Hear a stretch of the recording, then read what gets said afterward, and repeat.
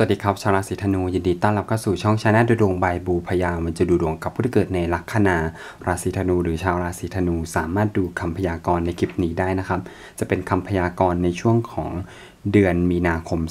2567 นี้เป็นในเรื่องของการเงินการงานโชคลาภเดี๋ยวเรามาดูไพ่กันว่าจะมีแนวโน้มทิศทางเป็นเช่นไรก็รับแต่พลังงานด้านบวกนะครับ ก่อนอื่นฝากกดไลค์กดแชร์กด subscribe กดติดตามกำลังใจให้กับช่องบูพยาด้วยนะครับสำหรับใครต้องการติดต่อดูดวงเพื่อความแม่นยำมากกว่านี้ สามารถแอดไลน์ ID มาได้ที่ user บูพยา59 เขียนไว้กับหน้าจอแล้วก็คอมเมนต์ข้างล่างให้แล้วนะครับ ที่เรามาดูกันนะครับว่าไพ่อยากจะบอกอะไรสำหรับตัวคุณกันบ้างไพ่เป็นแรกของตัวตนของคุณได้เป็นไพ่สี่ไม้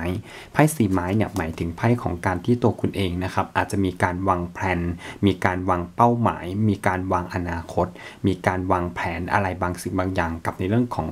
สิ่งที่เราอยากจะพัฒนาและเติบโตไปข้างหน้า เพราะว่าอิทธิพลของไพ่สี่ไม้หมายถึงความสำเร็จหมายถึงตัวคุณเองมีโอกาสที่จะมีข่าวดีเข้ามามีโอกาสที่จะลงหลักปักฐานความเป็น ความมั่นคงกับในเรื่องของชีวิตของตัวเราดีขึ้น อิทธิพลของไพ่สีไม้เนี่ยเป็นไพ่ตัวตนเพราะว่าคุณรู้จักที่จะคิดวางแผนจัดการได้ค่อนข้างดี แล้วคุณก็จะประสบความสำเร็จในสิ่งที่คุณทำในสิ่งที่คุณนั้น อยากจะไปสู่ความสำเร็จได้ประสบความสำเร็จที่ดีมากขึ้นนะครับ ในช่วงของเดือนนี้นะครับชาวราศีธนูลัคนาธนูมีโอกาสที่จะมีในเรื่องของการงานที่มีการเติบโต มีการพัฒนามีความมั่นคงที่ดีขึ้น มีโอกาสที่คุณจะได้ในเรื่องของ โชคลาภในเรื่องของการงานนะครับ การงานค่อนข้างดูโดดเด่นมาก ๆ เลย และอิทธิพลของไพ่สี่ไม้เนี่ยหมายถึงการงานที่ประสบความสำเร็จมีข่าวดีอยู่แล้วใช่ไหมครับ และยังมีโอกาสที่ตัวคุณเอง จะได้เลื่อนขั้นปรับตำแหน่งที่ดีได้สี่ไม้กับไพ่ The Emperor มาพร้อมกันแปลว่าตัวคุณเองมีโอกาสที่จะมีศักยภาพนะครับ มีการเติบโต มีการพัฒนาได้รับความ ไว้วางใจจากผู้หลักผู้ใหญ่นะครับทำแล้วทำดีมีผลงาน มีในเรื่องของการงานที่ประสบความสำเร็จแบบก้าวกระโดดนะครับ การงานมีโอกาสพัฒนามีการเติบโตที่ดีมากขึ้น แล้วก็มีในเรื่องของการงานที่มีความมั่นคงมากขึ้นด้วยเช่นกัน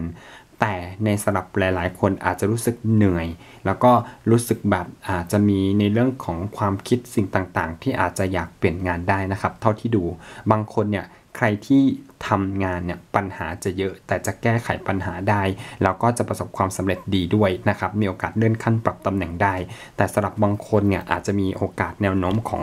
การเปลี่ยนงานได้ค่อนข้างเยอะอยู่พอสมควร เพราะว่าอิทธิพลของไพ่เนี่ยขึ้นเป็นไพ่ห้าไม้นะครับห้าไม้เนี่ยหมายถึงการแตกแยกหมายถึงการทำงานที่อาจจะ บางทีบางคนอาจจะมีปัญหาในเรื่องเพื่อนร่วมงาน บางคนอาจจะมีปัญหาเรื่องผู้หลักผู้ใหญ่ หรือบางคนอาจจะไม่ได้มีปัญหาทั้งเพื่อนร่วมงานผู้หลักผู้ใหญ่ แต่มีปัญหาเรื่องการที่ตัวเราเองอาจจะงานเยอะนะครับ งานสุมหรือว่าอาจจะต้องมีการแก้ไขปัญหาเยอะหน่อยนะมันเลยทำให้เราค่อนข้างดูรู้สึกเหนื่อยนะครับ แล้วก็ท้อใจมีความรู้สึกที่อยากจะเดินออกจาก ตรงนี้ไปเพื่อที่จะเริ่มต้นสิ่งใหม่ ๆ มีเด็กถือไม้มาด้วยนะครับไพ่เอ็กออฟคัพเนี่ยเป็นไพ่ของการเดินจากสังเกตดู แสดงว่าตัวคุณเองอะหลาย ๆ คนที่อาจจะมีปัญหานะครับจากไพ่ห้าไม้เนี่ยไม่ว่าจะเป็นเพื่อนร่วมงานเป็นเจ้านายหรืองานเยอะนะครับงานสุ่มเนี่ยมันอาจจะทำให้ตัวเราค่อนข้างมี mindset ที่อาจจะ เนกาทีฟนิดนึงอะ่ะเลยทำให้เรารู้สึกว่าเราอึดอัดใจ เรารู้สึกว่าอยู่ตรงเนี้ยมันมันไม่ไหวอะ่ะนะครับมันเหนื่อยมันท้อก็เลยรู้สึกว่าอยากจะเดินเดินออกไปจากตรงนี้นะครับ สังเกตดูชายคนนี้กำลังละทิ้งถ้วยทั้ง 8 แล้วเดินไปหาแสวงหาถ้วยที่ปรารถนานะครับ แล้วก็มีไพ่เด็กถือไม้มา เด็กถือไม้เนี่ยเป็นตัวแทนของ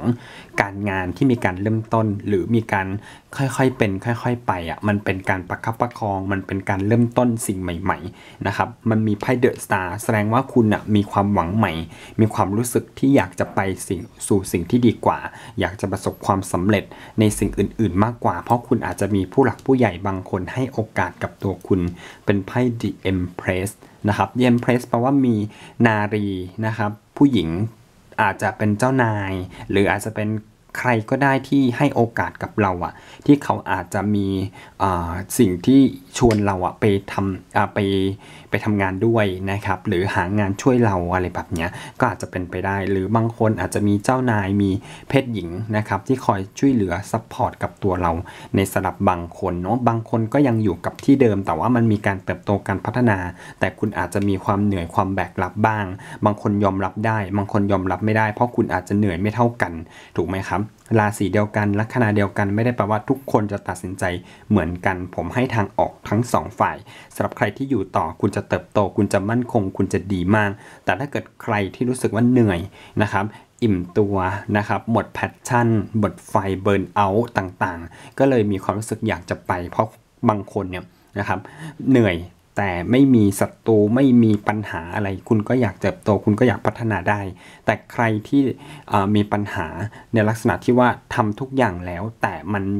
ผลมันไม่ค่อยได้รับผลตอบแทนในสิ่งที่เรานั้นรู้สึกสบายใจ บางคนบอกว่าครับที่อยู่ได้ แต่ครับใจมันอยู่ยาก เพราะมันมีปัญหาเกิดขึ้นในองค์กรตลอดเวลา คุณเลยรู้สึกว่าคุณเหนื่อย คุณไม่อยากสู้รบปบมือ คุณอยากทำงาน ไม่ได้อยากจะมาทะเลาะกับใคร ถูกไหมครับ อะไรประมาณนี้คุณก็อาจจะมีความรู้สึกมีความหวังใหม่นะครับที่อยากจะไปและประกอบกับมีคนมาชวนนะครับให้เราไปแบบนี้มันก็มีโอกาสที่จะประสบความสำเร็จได้ เช่นกันนะครับมีไพ่เด็กถือไม้มาแสดงว่ามีโอกาสที่จะเริ่มต้นงานใหม่ ๆ ได้ ส่วนใครที่ทำการลงทุนนะครับอาจจะมีปัญหาเข้ามาบ้าง แต่ว่าโดยภาพรวมอะถ้าเราพยายามอดทนต่อสู้ นะครับทุกอย่างจะประสบความสำเร็จได้ มีไพ่ The Lover มา The Lover เนี่ยแปลว่าการที่เราอาจจะมีหุ้นส่วนนะครับหรือมีคู่สัญญาคู่ค้าสิ่งต่างๆ ที่เราอยากจะทำร่วมกับเขาเนี่ยนะครับอาจจะมีคนมาเสนอโปรเจกต์ที่ทำร่วมกันให้โอกาสนะครับแบบเนี้ยก็ได้เช่นกันนะ มันก็โอกาสที่จะสร้างเงินสร้างกำไรได้ เพราะมันมีไพ่ หนึ่งเหรียญเกิดขึ้นนะครับหนึ่งเหรียญเนี่ยมันคือการเงินที่มีความมั่นคง แล้วก็ได้รับโอกาสสิ่งดีๆ กับตัวคุณเองมากขึ้น และยังมีไพ่ใบนี้ราชินีถือถ้วย บางคนเนี่ยนะครับทำงานดีทำงานเด่งแก้ไขปัญหาได้นะครับ ไม่ว่าจะมาในรูปแบบไหนคุณก็สามารถจัดการได้ จึงทำให้คุณขึ้นเป็นตำแหน่งที่สูงขึ้นถูกไหมครับ และมี ผู้หลักผู้ใหญ่นั้นชมเชยนะครับมอบสิ่งดีๆ ให้กับเรานะชมเชยเราทำให้เราอะสามารถที่จะมีอนาคตที่ดีได้นะครับแบบนี้เป็นต้นเนาะก็ไม่เป็นไรนะครับสำหรับใครที่รู้สึกว่าอึดอัดใจ คุณอยากเปลี่ยนแปลงคุณอยากเริ่มต้นมันมีโอกาสเข้ามานะครับเพราะคุณมีเดอะสตาร์คือความหวังใหม่ สิ่งเริ่มต้นใหม่ ๆ จะดีขึ้น ส่วนใครที่อยู่ในที่เดิมนะครับฟื้นฟูภาวะจิตใจอารมณ์ความรู้สึกของตัวเองเนี่ยมันก็มีโอกาสที่เราจะได้รับผลงานที่ดี แล้วก็ประสบความสำเร็จได้อย่างแน่นอนนะครับ ทีนี้เรามาดูกันต่อในเรื่องของการเงินกันบ้าง อิทธิพลการเงินนะครับขึ้นไพ่1เหรียญแล้วก็ขึ้นไพ่คิงถือเหรียญพร้อม ๆ กันไปเลยเนาะแสดงว่าชาวราศีธนูและคธนูการเงินค่อนข้างอูฟูเลย นะครับคิงถือเหรียญเทียบเท่ากับ 10 เหรียญ1เหรียญก็แปลว่าความมั่นคงนะครับในเรื่องของการเงิน ได้รับเบี้ยเลี้ยงโบนัส หรือบางคนเนี่ยทำงาน OT นะครับมากขึ้นก็ได้โบนัสได้ OT มากขึ้นนะทำให้การเงินของคุณนั้นเติบโตและพัฒนาแบบก้าวกระโดด บางคนทำการค้าการลงทุนร่วมกับต่างพันธมิตร นะครับก็จะได้กำไรเป็นกอบเป็นกำได้ค่อนข้างดีเลยทีเดียว บางคนอาจจะมีโอกาสได้ในเรื่องของเงินก้อนใหญ่นะครับบางคนอาจจะขายที่ดินขายบ้านขายอสังหาได้นะครับขายคอนโดได้ประสบความสำเร็จ หรือใครจัดซื้อนะครับก็มีโอกาสค่อนข้างสูง ที่จะซื้อบ้านซื้อรถซื้อคอนโดแบบเนี้ยเป็นของตัวเองก็ยังมีโอกาสดาวพฤหัสบดีเนี่ยนะครับคือดาวประจำตัวเนี่ยยังโคจรไปอยู่ในภพเรือนปุตตะ และเป็นตำแหน่งราชาโชคยังมีโอกาสสูงมาก ที่คุณยังได้ในเรื่องของการค้า แล้วก็การซื้ออสังหาที่ดีนะครับทำให้เรามีโอกาสที่จะจับจองการเป็นเจ้าของในสิ่งต่างๆ เหล่านี้ได้นะครับ เป็นสินทรัพย์ก้อนใหญ่เนาะเนาะแล้วก็ยังมีโอกาสในเรื่องของการเงินที่ประสบความสำเร็จนะครับ มีคิงถือเหรียญขึ้นมาคืออัดวานมากๆ แล้วก็มี 1 เหรียญเข้ามาอีกแปลว่า โอกาสของการเงินของคุณยังรุ่งพุ่งแรงนะครับ ยังมีโอกาสการเงินค่อนข้างเยอะเลยนะ ก็ถือว่าโอเคมากๆเลยนะครับ ถ้าเราเอาเงินไป